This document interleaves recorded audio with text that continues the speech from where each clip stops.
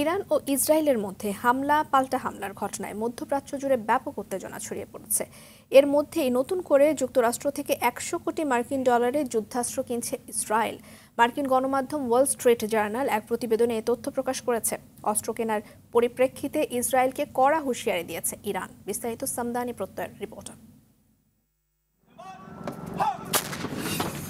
Iran Israel দ্বন্দ্বে উত্তাল মধ্যপ্রাচ্যের রাজনীতি। এর মধ্যে আরেক বোমা ফাটালো ইরানের পারমাণবিক বিভাগ। ইসরায়েল ইরানে হামলা চালানোর দুঃসাহস দেখালে তাদের নির্দিষ্ট লক্ষ্যবস্তু ধ্বংস করার জন্য শক্তিশালী ক্ষেপণাস্ত্র ছোড়ার ট্রিগারে আঙুল রাখা আছে বলে ইসরায়েলকে হুঁশিয়ার করে দিয়েছেন ইরানের পারমাণবিক কেন্দ্রগুলোর নিরাপত্তা ও সুরক্ষা বিভাগের কমান্ডার ব্রিগেডিয়ার জেনারেল আহমদ হাক তালাব।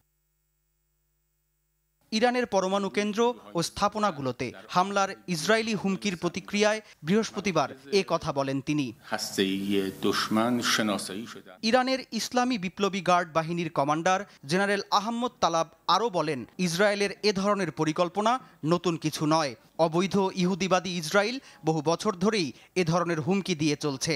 তারা এর আগে ইসরায়েলের পারমাণবিক শিল্পের বিরুদ্ধে নাশকতা চালিয়েছে এবং সন্ত্রাসী পদক্ষেপ গ্রহণ করেছে। تجدید نظر در دکترین و سیاست‌های هسته‌ای جمهوری اسلامی তিনি আরও বলেছেন ইসরায়েল ইরানের পারমাণবিক স্থাপনায় কোনো ধরনের হামলা চালালে তাদের পরমাণু স্থাপনাগুলোতেও বড় ধরনের হামলা চালানো হবে তিনি বলেন আঘাত করে পার পাওয়ার যুগ শেষ হয়ে গেছে ইরানের বিরুদ্ধে কোনো ষড়যন্ত্র করলে সশস্ত্র বাহিনী এর উপযুক্ত জবাব দেবে আমাদের সশস্ত্র বাহিনী তাদের উপর এমন আঘাত হানবে যা তারা আজীবন মনে রাখবে সামদানি প্রত্যয় আর টিভি